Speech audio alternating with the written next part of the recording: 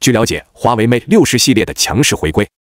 已经让华为手机登顶十月二日至十月八日的周销量第一。另据中国移动采购与招标网信息，中国移动拟采购一百二十万台华为 Mate 六十全翼版等五款手机产品终端。中国移动今日对此进行了回应。BCI 最新数据显示，华为手机销量迎来快速增长，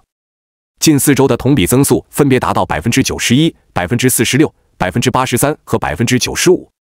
华为手机的销量份额也由 Mate 六零系列发布前的百分之十左右增长，至十月二日至十月八日的百分之十九点四，位居国内市场第一。十月十六日，市场研究公司 Counterpoint Research 数据显示，iPhone 十五系列在中国首发十七天内的销量，较二零二二年发行的 iPhone 十四系列下降百分之四点五。Counterpoint 估计。华为今年仅 Mate 六十 Pro 销量就能达到五百至六百万部。以 Edison Lee 为首的杰富瑞证券分析师在今日发布的报告中写道：“得益于华为新机型的意外亮相，现在其在市场上的销量已经超越了苹果，成为了第一名。iPhone 十五的销量较其前代机型下降更为明显，这一下降幅度或达到两位数。”金融服务公司杰富瑞也估计，在 Mate 六十 Pro 的意外亮相推动下。华为在中国的整体销量超过了苹果。分析师写道：“这一趋势表明，iPhone 明年将输给华为。我们认为，中国需求疲软，最终将导致2023年 iPhone 15的全球出货量低于预期。”另外，中信建投也在最新的研报中表示，在各大手机厂商密集发布新机等因素的催化下，近期国内手机销量表现有一定的好转。其中，华为是九月以来增长势头最强的厂商。就华为手机方面，中信建投进一步指出，在今年剩余时间内，预计随着交付能力的持续提升，华为将在 Mate 六零系列的带动下保持高增速，而 Mate 六零系列的良好表现，或将推动华为制定明年更高的销售目标。建议持续关注华为产业链。随着销量的增加，华为手机在出货量方面也进行了调整。十月十日，据界面新闻。华为目标在二零二四年出货六千万至七千万部智能手机。相关消息人士表示，华为已经向供应链追加了足够数量的订单，确保二零二四年全年能够达到这一出货数字。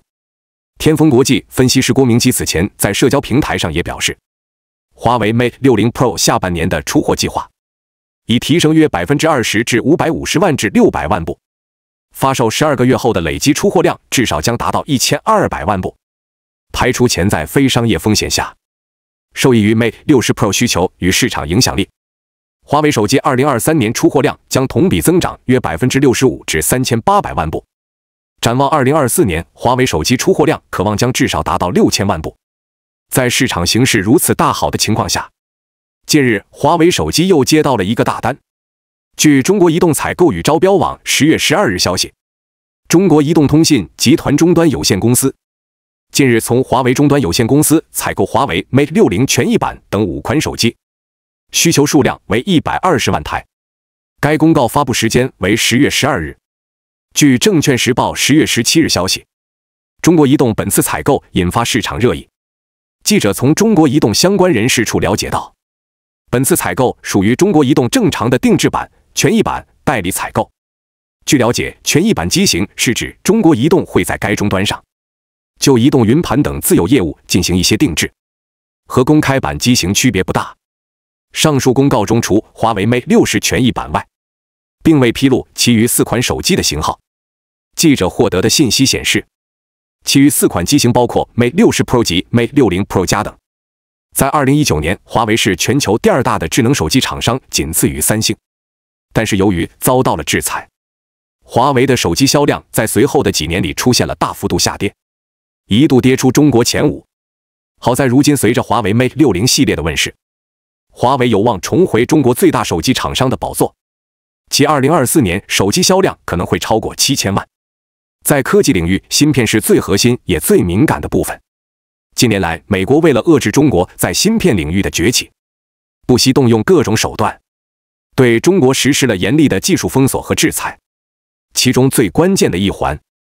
就是禁止荷兰半导体设备制造商 ASML 向中国出口先进的光刻机，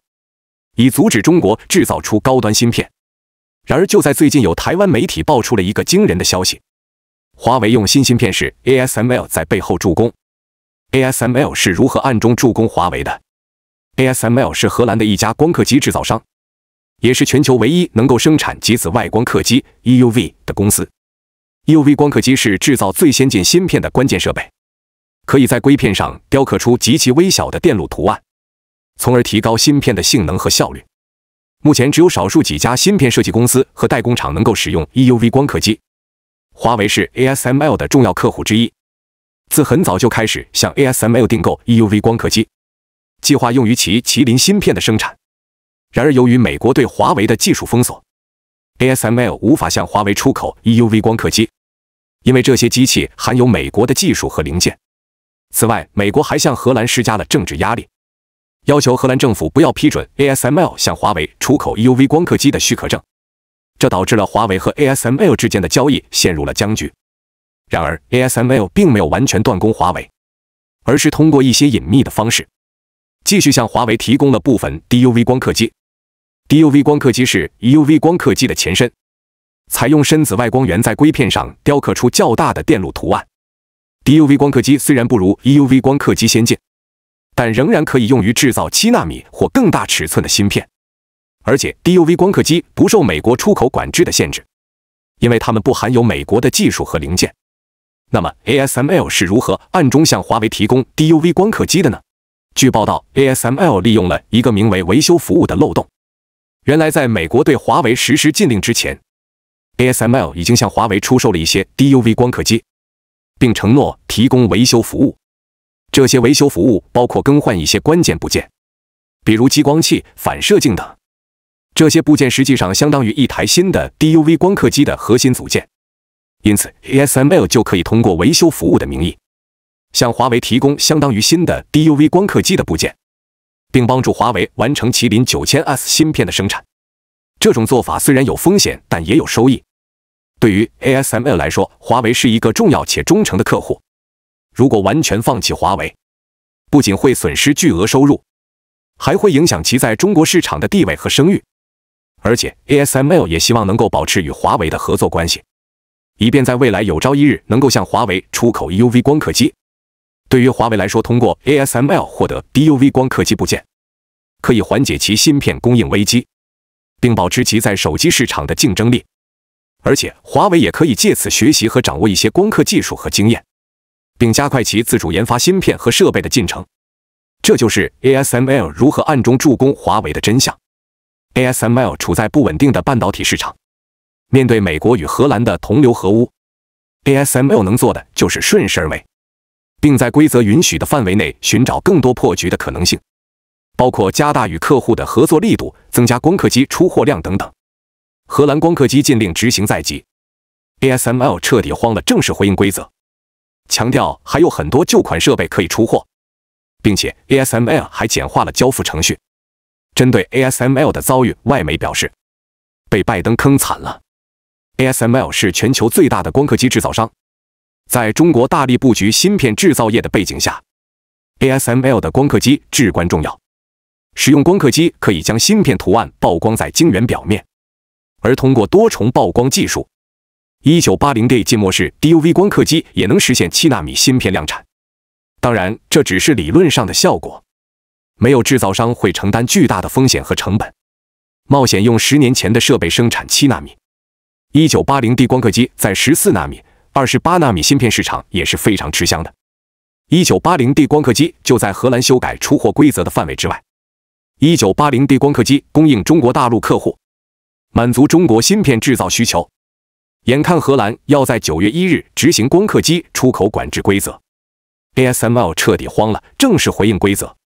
一方面强调还有很多旧款设备可以出货，为客户分析限制出口的光刻机范围；另一方面，ASML 还简化了交付程序。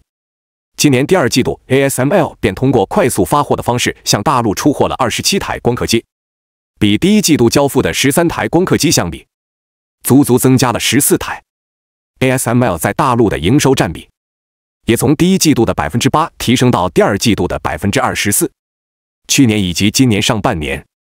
，ASML 的产能十分有限，一度只能交付百分之六十的订单，剩余的订单需要推迟发货，再加上有源源不断的订单涌入，可想而知，ASML 的交付压力是非常大的。而根据 ASML 公布的第二季度财报显示，实现了六十九亿欧元的净销售额，预计今年会有百分之三十的销售额提升。还有一个利好 ASML 的情况。那就是 ASML 手中有三百八十亿欧元，约三千亿人民币的积压订单，这么多的订单在手上，哪怕将来 ASML 出现新增订单大幅暴跌的情况，ASML 也能有恃无恐。种种来看，ASML 似乎不会因荷兰修改规则而感到着急，只要 ASML 能保障产能，未来的日子就不愁了。可事实真的是这样吗？发挥积压订单效益的前提是客户不会取消订单。不排除 ASML 手中有大量的意向订单，也就是还没有正式签订采购协议的这类订单存在很大的变数，随时都会因市场的变局而发生改变。若 ASML 受制于荷兰规则，无法正常出货客户想要的设备，或者客户担心对 ASML 过于依赖的话，那么 ASML 三百八十亿欧元的积压订单就要锐减了。所以 ASML 并不像表面看起来的淡定。内心之中怕是彻底慌了。ASML 不止一次表示限制出货的后果，这会导致全球供应链中断，还会让中国加紧对自主光刻机的研发。现在 ASML 还能从中国获得大量的光刻机订单，可是将来国产光刻机有了替代 ASML 的能力后，ASML 的地位就要受到动摇了。针对 ASML 的遭遇，有外媒表示，被拜登坑惨了。若不是拜登团队频繁修改规则拉荷兰下去，也许就是另一番局面了。ASML 可以展开自由贸易，满足任何一个客户的订单需求，不用顾虑规则带来的限制影响。实际上，拜登坑的何止 ASML，就连自己人也给坑了。